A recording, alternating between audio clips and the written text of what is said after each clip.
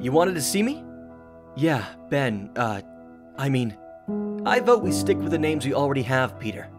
Nothing's changed as far as I'm concerned. I don't trust the Jackal. Never did. I didn't call you up here to discuss the big switcheroo. You didn't?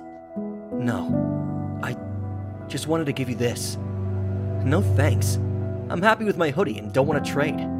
This isn't a trade, Ben. It's a resignation. I'm about to start a family, with all that entails. I'm talking late night feedings, dirty diapers, and bedtime stories. I, you, one of us first became Spider Man because we learned that great power should also bring great responsibility. I can't shoulder that burden anymore. I have to do what's best for my family. It's always been about family, Ben. And I need to concentrate on mine. If you ever need help, you know how to reach me.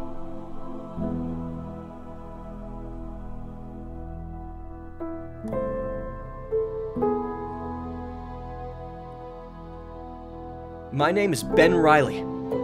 I honestly don't know if I'm the original or the clone. None of that really matters anymore. Today's the first day of my life, and I am Spider Man.